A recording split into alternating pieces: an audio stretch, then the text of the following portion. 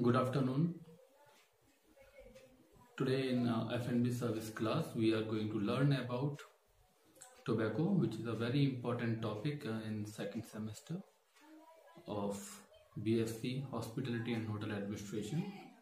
This topic carries uh, good marks in the final examination and that is the reason we have chosen this topic for today's session. So tobacco is uh, basically a commercial species and uh, it is it is uh, sold in many forms.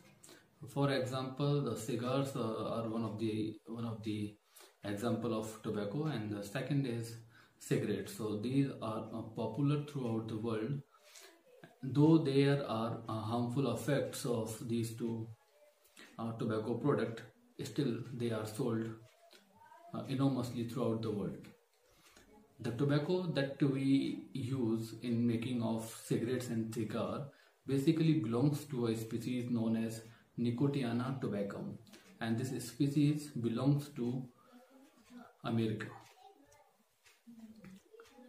when we say tobacco, tobacco are classified into three categories. Uh, the first one is Latakia, second is Perique, and then Burley.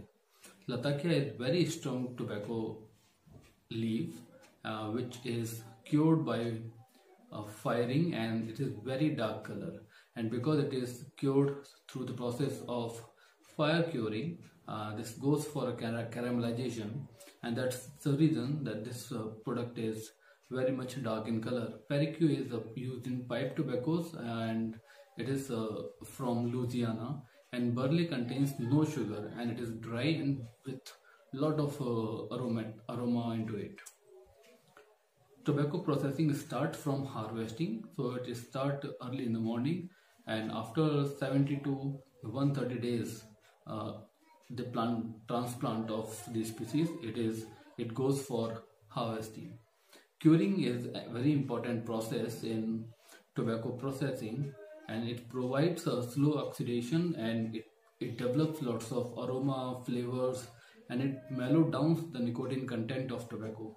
That is the reason curing is considered to be one of the most important uh, step in tobacco processing. Curings are of four types, air curing, fire curing, flue curing and sun curing. Now what is air curing? when the leaves are dried Uh, in, the, in, in the absence of sunlight and in an open area, this type of curing is known as air curing. Second is fire curing, when the tobacco leaves are dried in the presence of fire in a closed environment where the leaves soak the smoke of the fire and that's how the leaves are going to be smoky in nature. This type of curing is known as fire curing. Second is flue curing. Now this is almost similar to the fire curing but the difference is that the fire is not into the same room. The fire is ignited by the, to this side room and then only the heat is transferred. So in this case uh, there is no smoke in the room only heat is being transferred and that is why this uh, type of curing will not have a smoky nature. And the last is sun curing where the leaves are dried in the sun so that is sun curing. And then tobacco leaves goes for crushing and if we are going to make cigars they will not go for crushing. If they if we are going to make cigarettes of uh, tobacco leaves then crushing is required. Then goes the process of fermentation. So fermentation is the process of basically oxidation process where the tobacco leaves are going to develop lots of aromas flavor and their nicotine content and the harshness of uh, tobacco leaves will come down and this process will develop lots of characteristic flavor into the tobacco. So World Organization, uh, World Health Organization reports is, uh, that there are 5.4 million deaths per year because of uh, some of the tobacco products. Now let's come to cigar. Cigar is a very important topic and the cigar is made of three parts basically filler binder and wrapper filler is the innermost part binder is the layering over the filler and the wrapper is the topmost covering of a cigar which uh, gives it a characteristic color. Filler and binder together are known as bunch. Color classification of cigars. So cigars on the basis of color are classified into various categories. So first category is triple C. It's claro and light. So the color of cigar uh, is light. Then comes the double C. It's Colorado Claro and it is medium color cigar. Then comes the C. It's Colorado dark. CM is Colorado Maduro. It's very dark cigar. M is Maduro that is exceptionally dark cigar and O is Oscuro that is black cigar. So these are the images of color classification of cigar. You can easily distinguish between different color of cigars. Then comes the size uh, and shape of cigars. So cigars are classified into various categories on the basis of the size and the shape they have.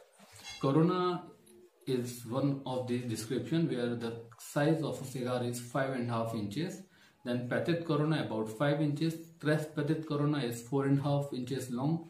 Half a Corona about 3 3 by 4 inches long. And Lonsdale is uh, 6 and half inches long. And then the few other categories, Ideals, Bouquet, Londres, Panatella and Cheroot. A Cheroot is a cigar which is not tapered from both the ends. So that is specialty about this particular cigar. Service of cigar is basically done by the server or the guest can do the service themselves. The important things to remember while we are serving cigars or storing of uh, storing cigars that they should be stored at a right temperature and uh, at a moist place. So they, they, and they are kept in uh, special boxes which are made of cedar wood and those boxes are known as uh, humidor. That image you can see on on the presentation and then on the left you have cigar cutter. Some brand names uh, Robert Burn, Panatella, Corona, and then Apostolando, Churchill Romeo, Cuba Habana, and there are so many uh, brands of cigar. Thank you for this session, and please do like and share the link. And all the resources related to this session are available on hospitalitynu.blogspot.